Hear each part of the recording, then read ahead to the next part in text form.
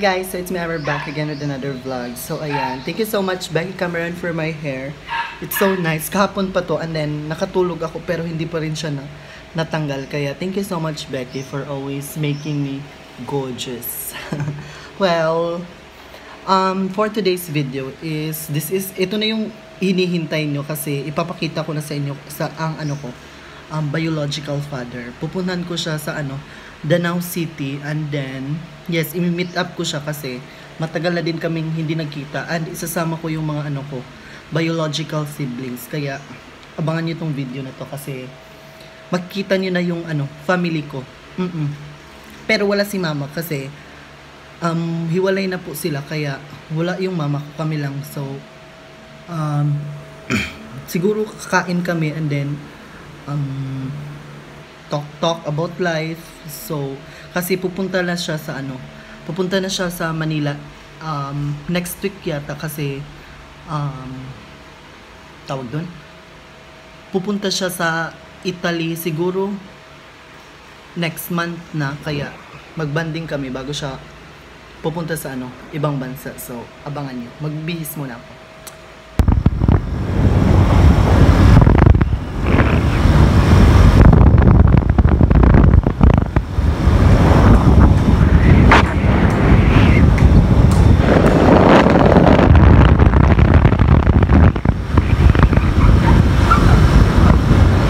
Hee hee!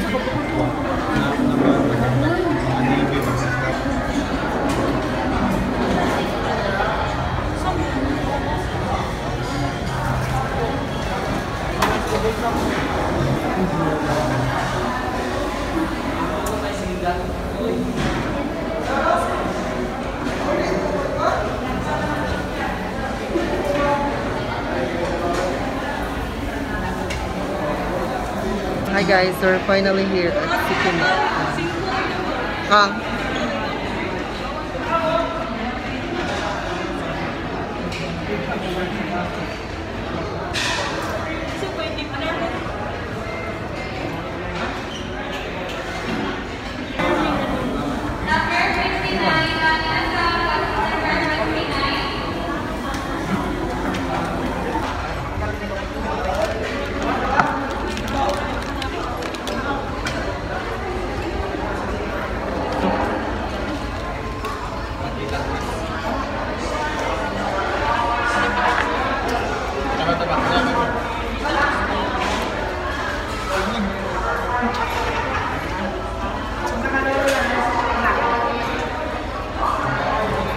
Napagok ko nga ni Rice.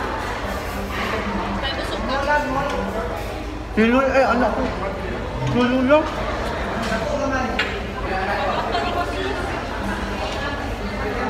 Ay, limon.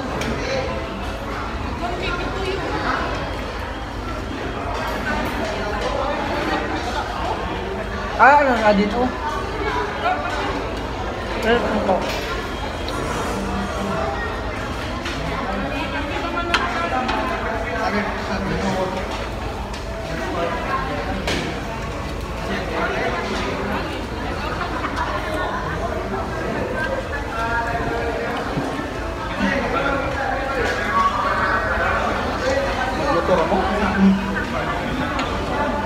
Były tak.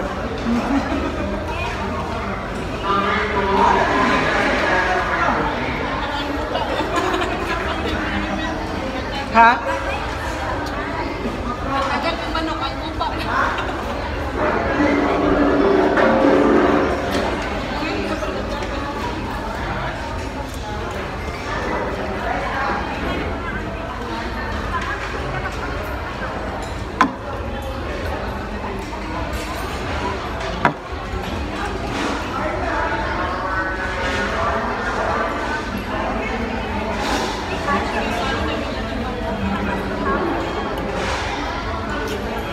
Pwede makasunod. Saan saan dito? Tuloy. Nakatakag limon.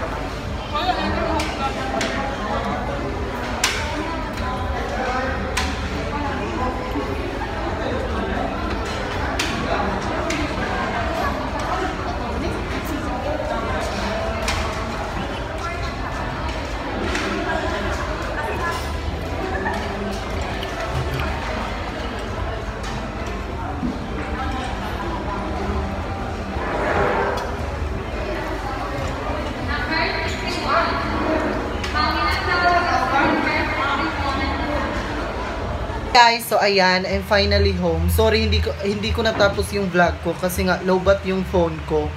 And then, yun, hindi ko na-shoot lahat-lahat ng kaganapan kanina. Kaya, sayang, hindi kasi, hindi ako naka-charge. Kaya, nalowbat yung phone ko. And yung power bank ni, ano, ni Richie is nasa bukid. Hindi ko nadala. So, ikwento ko na lang dito. Kanina is, pumunta kami ng ano, um, ukay-ukay. Oo.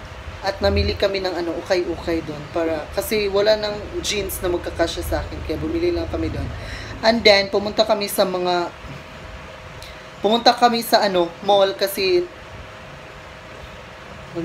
bumili ako ng ano, mga ilaw para sa bahay doon sa Bactas kasi yung ibang ilaw is ano na um, hindi na gumagana and then bumili ako ng mga trash can sabon, silhig, map, at iba pang mga kailangan doon. Hindi lang ako bumili ng ano, um, rag kasi may rag pa doon pero hindi pa siya nalalaban kasi pupu, uuwi po si Ate Faith bukas. Kasama yung friend niya kaya yes maglilinis kami. And then um bumalik na po yung kuryente doon kaya um siguro mamaya mag pagkatapos ni Reggie Ponce na magsimba is ano pupunta kami sa Bactas para maglinis. Para bukas pagdating natin Faith is linis na kasi nandito yung pupunta yung mga friends niya dito. Kaya nakakahiya naman pag hindi natin lilinisan, di ba? So yeah, so yun yun yung papa ko, yung kasama ko kanina kumain. Pero hindi lang siya nagsalita kasi camera shy silang lahat pati na yung mga kapatid ko. Takot sila sa camera. Kaya hinayaan ko na lang na hindi sila interviewin Mm-mm. So, yun, yun po yung papa ko. Medyo ano na siya, gore.